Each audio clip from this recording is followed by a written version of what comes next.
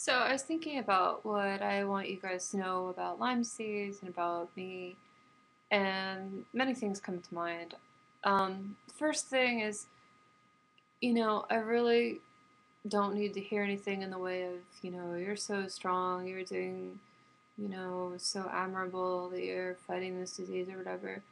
It's not what it feels like, and um, I don't think there's anything admirable about it because um, it, you, know, if you guys were in the situation, you'd have to do the same thing. So you don't really have a choice about it.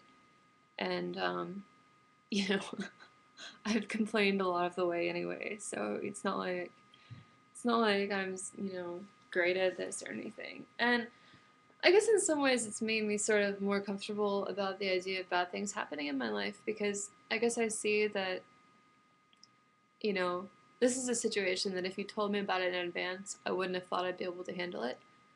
Especially some of the symptoms and the, you know, very, very strict diet that I have to be on for because I'm on long term antibiotics and this sort of very uncomfortable symptoms and you know, shots in the butt twice, four shots a week, and stuff like that. I wouldn't have thought I'd be able to handle it, but you know, it's sort of when when you have to handle it, it's not a big deal, and so I guess it makes me optimistic. You know, whatever happens to me in the future, I'll probably be able to handle it, and you know, I guess we we never know what we can handle till it happens to us.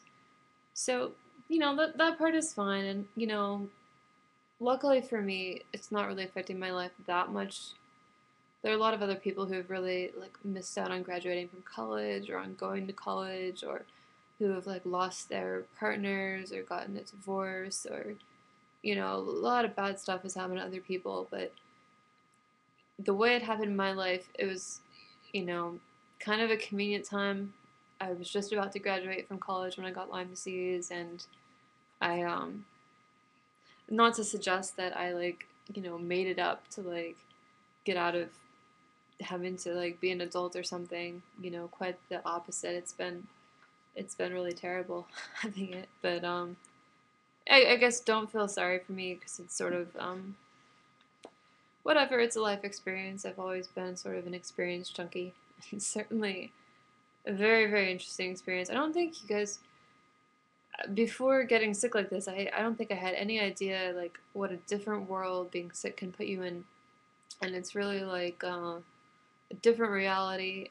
Feels like going and living in a different country and then you come back to your regular country and it's like culture shock. Like whenever I, you know, hang out with people without Lyme disease, sort of like culture shock for me. And it's sort of like moving maybe to a third world country where a lot of stuff that you take for granted here just doesn't work. You just no running water. You got to walk a long way to get water, and you get sick from random stuff. It's, that's just sort of not a bad life. There are enjoyable things in other countries, in third world countries, and people are happy there and whatever. It's just sort of a different, different type of life. So that's what I want you to know about what it's like. And um, and I think here's the, the the ironic thing is as I start to get a little better in certain ways, I start to feel like more and more upset about having Lyme disease because I, while you're very sick, it's very hard to imagine not having it, and it's just in your mind, sort of like of course, it is the way it was always going to be. Like, I am just a Lyme diseased person, you know. Whereas, as I start to get a little better and get out in the world a little more, I realize, wow, like, there are people who don't have Lyme disease. Like, I could have been such a person. so, that's kind of, um, I, I hear that a lot of people get a lot of grief about what they've been through, like, after they get better.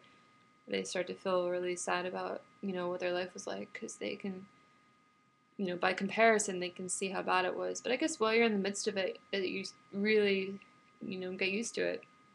Um, and a lot, a lot of stuff just feels like the way life is, and isn't it like that for everybody? And I guess I'm on a lot of forums online where everybody else has Lyme disease. Most of them have it much worse than I do. So I'm, I almost feel sort of guilty that I don't have it that bad.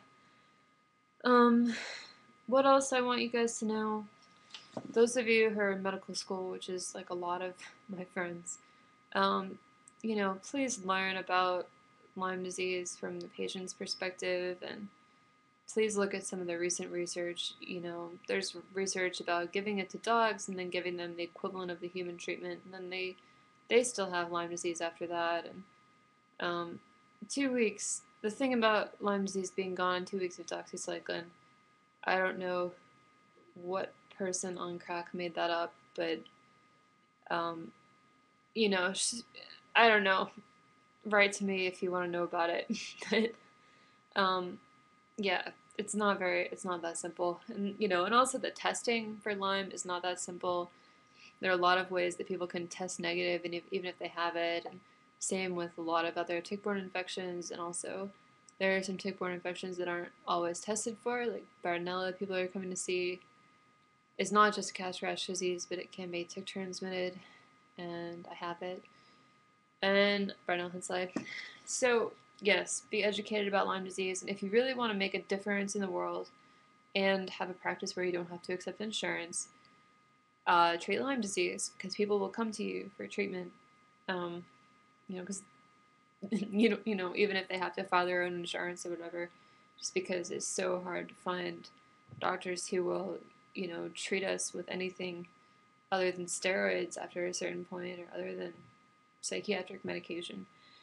So that's my message to the doctors out there. Um, for everybody, especially those of you in the Northeast, be very careful to um, avoid Lyme disease. Um, I really don't even know that much about how to avoid it because I already have it, and I don't really go out in nature very much anymore. So I haven't really looked into that, but I know that the spring and early summer are the prime time for getting it. I got it in May. I also know that um, your risk of getting a tick bite is much higher if you touch trees or sit on logs. I believe I got it a tick bite while I was sitting on a log.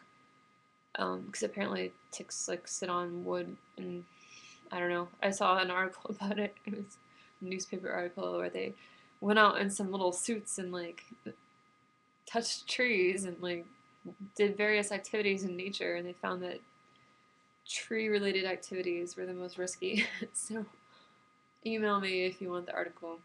So yes, watch out for that. Check for ticks. But I think, you know, you can get Lyme disease from nymphs. You can get them, you know, from, you don't have to get a tick bite. many people don't even notice a tick bite. Many people don't notice a bullseye rash. Um, so we gotta be on the lookout for the symptoms.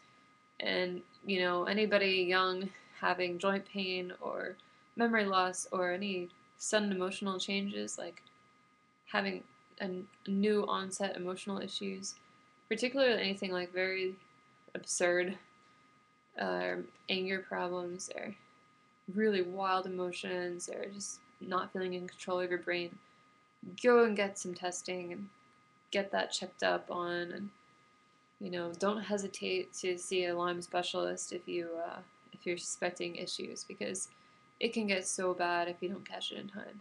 I'm having a rough time with it even though I caught my Lyme disease three weeks after my tick bite. I might have had some of the infections, some of the other infections beforehand, but um, you know, some people go decades before they catch it, and they're bad off. Um, you know, it's a huge risk. Think of it. Think of it like AIDS. You know, Lyme disease can kill people eventually. The other infection, other tick-borne infections, Babesia can kill people, and so it's serious. And even if it doesn't kill you, it can totally wreck your life.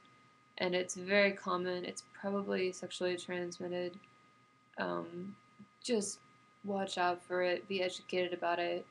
We should be very scared about this. We should be hearing about this in school. I don't know why we're not. Um, I mean, maybe we are. I grew up in Texas where it's not as big of a deal, but you can get Lyme disease in any any any state in the nation. Um, you know, certain states are pretty bad, but Anyway, so that's what I want you to know. And, um, uh, God, I gotta stop this one. Alright.